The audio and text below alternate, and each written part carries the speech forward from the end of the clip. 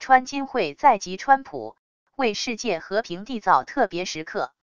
美国总统川普今天表示，六月十二日将与北韩领导人金正恩在新加坡举行历史性峰会，这会是美国在任总统和北韩领导人之间的首次会面。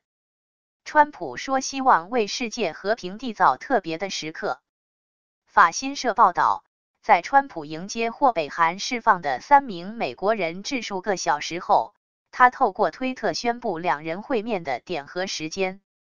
川普写道：“我们两人都会是助为世界和平缔造非常特别的时刻。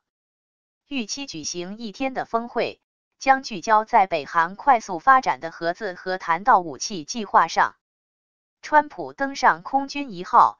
准备前往印第安纳州参加造势大会前说：“我认为会获得巨大的成功。”美国官员表示，金学成 （Kim Hak Song）、金相德 （Kim Sang Duck） 和金东哲 （Kim Dong Chul） 三名美国人质获释，不仅除掉了川金会的主要障碍，也证明川普的双轨政策和最大限度施压发挥作用。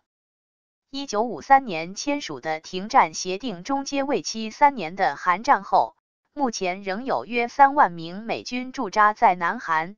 美国和北韩严格来说仍处于战争状态。新加坡是个中立的会面的点，避免分隔南北韩的非军事区 （demilitarized zone） 所面临的安全和政治挑战。